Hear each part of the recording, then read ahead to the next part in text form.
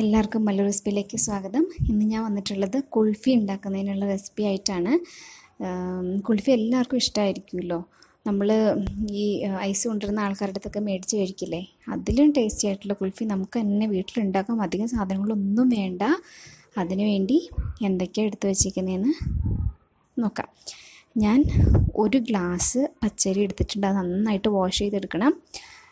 ഒരു ഗ്ലാസ് എന്ന് പറഞ്ഞാൽ നൂറ്റമ്പത് എം എല്ലിന്റെ ആണ് കേട്ടോ ഞാൻ എടുത്തേക്കുന്നത് അത് കഴുകി വെച്ചതിന് ശേഷം ഞാൻ ഒരു ടേബിൾ സ്പൂൺ നെയ്യ് ഒരു പാനിൽ വെച്ച് ചൂടാക്കിയിട്ടുണ്ട്. ഇനി ആ അരി അരി ഉണ്ടല്ലോ കഴുകി വെച്ചേക്കുന്നത്. ഇതിലിട്ടിട്ട് നന്നായിട്ട് ഫ്രൈ ചെയ്തെടുക്കണം. ഒരു അഞ്ച് തൊട്ട് ഏഴ് മിനിറ്റ് വരെ ഫ്രൈ ചെയ്തെടുക്കേണ്ട ആവശ്യം ഉണ്ടാവും. ഒത്ത്- ഒത്തിരി കളറൊന്നും മാറണ്ട. ഒന്ന് ഫ്രൈ ആയി വന്നാൽ മതി. ഹൈ ഫ്ലെയിമിലിട്ട് തന്നെ നമുക്കിത് ഫ്രൈ ചെയ്തെടുക്കാം. നന്നായിട്ട് കൈ എടുക്കാണ്ട് ഇങ്ങനെ ഇളക്കി കൊടുത്തോണ്ടൊന്നും കരിഞ്ഞൊന്നും പിടിക്കില്ല. ഇങ്ങനെ കൈ കൈയെടുക്കാണ്ട് ഇളക്കി കൊടുത്തോണ്ടിരിക്കുക ഇപ്പം ഇത് ഏകദേശം ആയിട്ടുണ്ട്. കണ്ടോ? കാണുന്നില്ലേ? ഇതുപോലെ ആയാൽ മതിയാവും.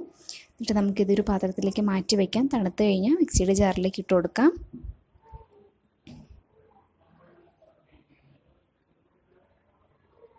ഇപ്പം ഞാൻ തണുത്തത് മിക്സിയുടെ ജാറിലേക്ക് ഇട്ടേക്കുവാണ്. ഇനി ഇതിലേക്ക് ഞാനൊരു അര ഗ്ലാസ് നട്ട്സ് ഇട്ട് കൊടുക്കുന്നുണ്ട്. ഞാൻ ബദാമും കുറച്ച് കാഷ്യൂ നട്ട്സും ഇട്ട് കൊടുക്കുന്നത്. അതൊന്ന് മിക്സിയിൽ അരച്ചെടുത്തിട്ടുണ്ട്. ഒരുപാട് നൈസായിട്ട് അരച്ചിട്ടില്ല. കണ്ട? ഈ ഒരു പരുവത്തിലാണ് അരച്ചേക്കുന്നത്. കുൽഫി ഒരു ചെറിയൊരു തരിയൊക്കെ വേണമല്ലോ കഴിക്കുമ്പോൾ. അപ്പോൾ രസം. ഇനി ഒരു പാൻ അടുപ്പത്ത് വെച്ച് ചൂടാക്കി അതിലേക്ക് ഞാൻ പാൽ ഒഴിച്ച് കൊടുക്കുന്നുണ്ട്. അഞ്ച് ഗ്ലാസ് പാൽ ഞാൻ നേരത്തെ എടുത്ത ഗ്ലാസ് ഉണ്ടല്ലോ. അതേ ഗ്ലാസിന്റെ അഞ്ച് ഗ്ലാസ് പാലാണ് ഞാൻ എടുത്തേക്കുന്നത്.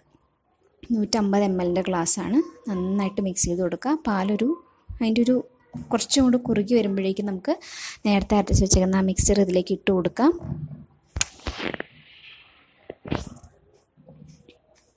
ഇപ്പം ഞാൻ അരച്ച് വെച്ചേക്കുന്ന പൊടിച്ച് വെച്ചേക്കുന്ന ഇത് ഇതിലേക്ക് ഇട്ട് കൊടുക്കുകയാണ്.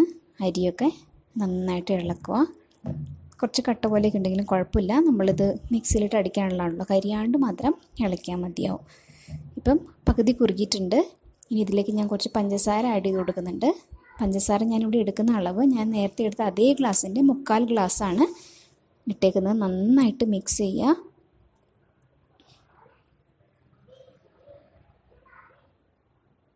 കണ്ട? ഒരുവിധം കുറുകി വന്നിട്ടുണ്ട്. ഈ സമയത്ത് നിങ്ങൾക്കിപ്പം സാഫ്രോൺ മിൽക്ക് ഉണ്ടെങ്കിൽ ഒഴിച്ചു കൊടുക്കാം. അപ്പം എന്റെ കയ്യിൽ അതില്ല അതുകൊണ്ട് ഞാൻ ഒഴിക്കുന്നില്ല. ഞാൻ ആ തണുത്ത് കഴിയുമ്പോൾ മിക്സിയുടെ ജാറിലേക്ക് മാറ്റിയേക്കുവാണ്. ഒരു നാല് ഡ്രോപ്സ് വാനില എസെൻസ് ഞാൻ ഇട്ട് കൊടുക്കുന്നുണ്ട്. ഇപ്പം നിങ്ങൾ സാഫ്രോൺ മിൽക്ക് ഒഴിക്കുന്നുണ്ടെങ്കിൽ വാനില എസെൻസിന്റെ ആവശ്യമില്ല. അപ്പോൾ നന്നായിട്ട് മിക്സിയിലിട്ട് അരച്ചെടുത്തേക്കുവാണ്. കണ്ടോ ഇപ്പോഴും ചെറിയൊരു തരി ഉണ്ടാവും. ഈ ഈ ഒരു പരുവാണ് വേണ്ടത്. അപ്പോൾ ഞാനൊരു ഒരു ഇതിലുള്ള ഷേ ഗ്ലാസ് എടുത്ത് അതിലേക്ക് ഒഴിച്ച് വെച്ചിട്ടുണ്ട്.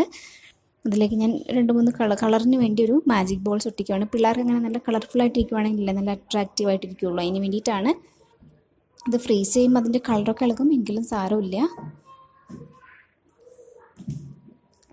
ഇനി നമുക്കിത് കവർ വെച്ച് മുകളിൽ നമുക്ക് കവർ ചെയ്തിട്ട് വേണം ഫ്രീസറിൽ വയ്ക്കാം അല്ലെങ്കിൽ വെള്ളമൊക്കെ അതിൽ വീഴുമല്ലോ ഇപ്പം നല്ല ലിഡുള്ള തരം എന്തെങ്കിലും ബൗൾസ് ഒക്കെ ഉണ്ടെങ്കിൽ അതിൽ വെക്കാം നിങ്ങൾക്ക്. ഗ്ലാസിന്റെ ആണെങ്കിലും പ്ലാസ്റ്റിക്കിന്റെ ഒക്കെ ആണെങ്കിലും ഒന്നും കുഴപ്പമില്ല. അപ്പം ഇതാണ് എനിക്ക് സൗകര്യമായിട്ട് തോന്നി അതുകൊണ്ട് ഞാൻ ഇതിലേക്ക് വെച്ചു. ഇപ്പം ഞാൻ എട്ട് മണിക്കൂർ ഫ്രീസ് ചെയ്ത് എടുത്തിട്ടുണ്ട് നമ്മുടെ രുചികരമായിട്ടുള്ള കുൾഫി ഇവിടെ റെഡിയാണ് എല്ലാവരും ഒന്ന് ട്രൈ ചെയ്ത് നോക്കണം. ഇഷ്ടപ്പെട്ടെങ്കിൽ എന്റെ ചാനൽ ഒന്ന് സബ്സ്ക്രൈബ് ചെയ്യുക. ലൈക്ക് ചെയ്യാനും മറക്കരുതേ. താങ്ക്